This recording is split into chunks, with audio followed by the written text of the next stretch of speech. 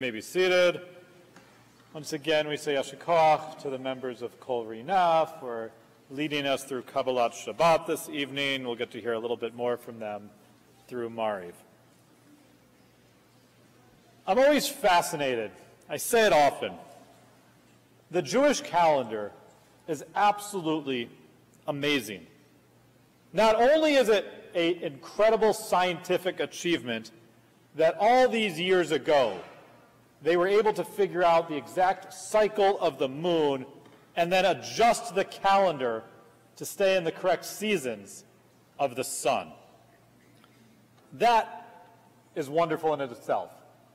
But it's also an incredible spiritual barometer.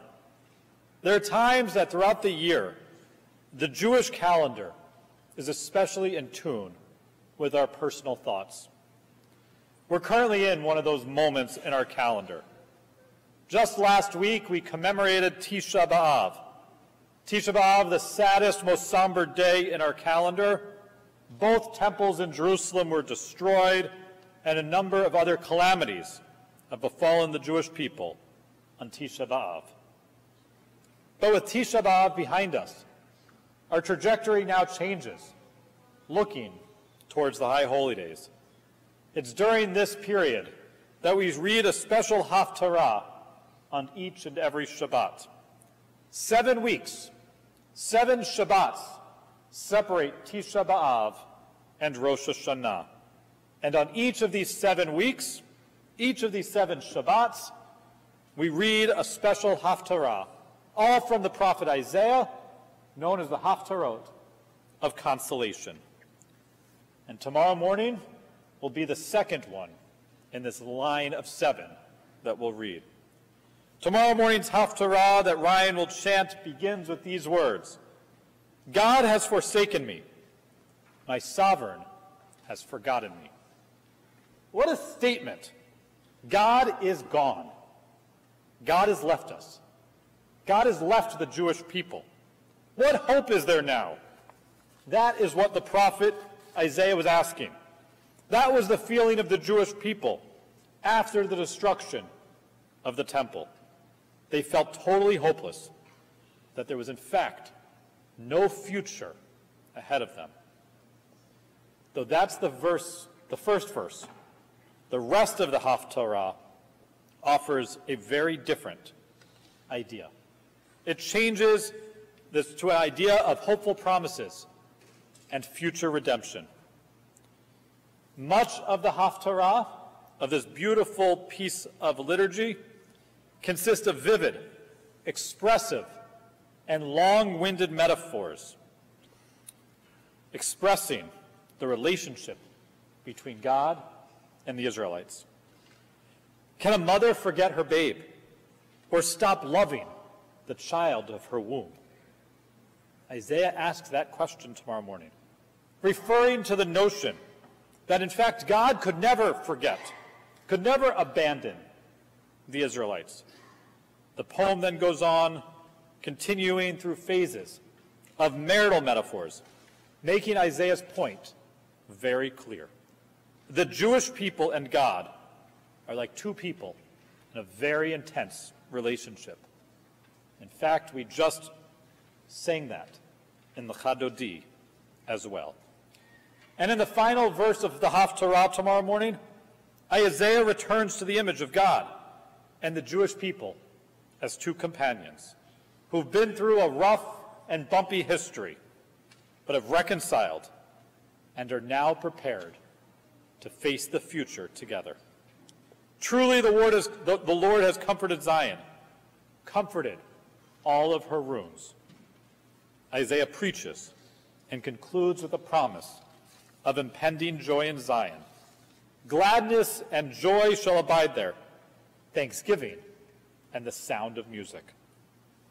The Haftarah tells us that even after the Jewish people experienced the lowest of all places together, watching the temples destroyed and burned, a feeling that God had indeed abandoned them at that moment, they are comforted throughout the Haftarah that God will return and God will be by their side in the future. as our calendar moves from Tisha B'Av, the saddest moment in our history, to the joy of Rosh Hashanah followed by Yom Kippur, our spiritual selves face the same trajectory. We are now about to begin that process of introspection, of tshuva, to dig deep into ourselves and examine what we need to change, what experiences we can improve in the coming year. And at the same time, we'll begin to feel, some of us, when we do it right, that same fear and vulnerability that Isaiah expresses. What happens if God forgets me? That fear. What if we uncover something so deep, so painful? We may feel that it prevents us from doing that work. That in fact, God made there then turn the back on us. But the Haftarah reminds us as well that God, even in that moment of despair of the Jewish people, God didn't abandon them. Even if it felt like that for a moment. And the same, too, applies to us. Even our darkest and most difficult situation, we're reminded that God loves us and God will not forget us. The hard work actually lies with each of us in the weeks and little more than a month ahead before the high holy days. Because in just over a week from now, we actually enter the month of Elul, the final month of the Jewish calendar, which is marked by every single morning except for Shabbat, the sounding of the shofar. Those blasts of Tekiah, Shivarim, Truah, Tekiah again, urging us, waking us up, that the work to begin to improve who we are is just ahead. When we show up on Rosh Hashanah, that's not the beginning of the process. It's actually supposed to be nearing the end of the process of tshuva. So as we anticipate preparing for Rosh Hashanah, each of these haftarot over the next few weeks remind us that we can, in fact, dig into our souls, uncover what it needs, what needs to change, and at the same time, not be fearful of what we'll uncover. We're urged, don't pull away. Pull out what truly needs to change. It may be challenging for us, but be reminded God will be there right by your side, reminding us that God is full of compassion and love.